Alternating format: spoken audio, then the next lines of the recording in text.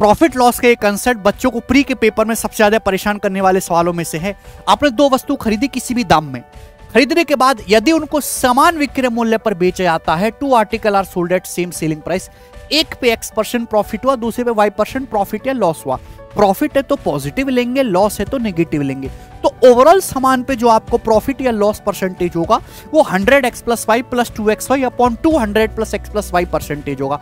आप रेशियो से भी कर सकते हैं, लेकिन वहाँ कैलकुलेशन बढ़ जाएगी सेकंड्स में उड़ जाएगा। प्रॉफिट पॉजिटिव लॉस नेगेटिव जैसे सवाल देखो, एक दुकानदार ने दो वस्तु में से प्रत्येक को इतने बेचा। एक वस्तु पर उन्नीस परसेंट प्रॉफिट हुआ, दूसरे पर ग्यारह परसेंट लॉस हुआ। तो आपसे पूछा प्रॉफिट या loss percent profit positive loss negative तो hundred x plus y x plus y मतलब उन्नीस माइनस ग्यारह, आठ आठ सौ हो गया प्लस टू एक्स वाई उन्नीस, ग्यारह, दो सौ नौ दूरी, चार सौ अठारह। Upon two hundred plus x plus y उन्नीस माइनस ग्यारह आठ, दो सौ आठ परसेंटेज आएगा फाइनल आंसर पॉजिटिव है तो प्रॉफिट आएगा मेरे दोस्तों को पॉजिटिव ही वैल्यू है। ये जो दो परसेंट से कम आएगा तो पाँच परसेंट नहीं है डी ऑप्शन आंसर ये वाला सवाल आप मुझे करके बताइए।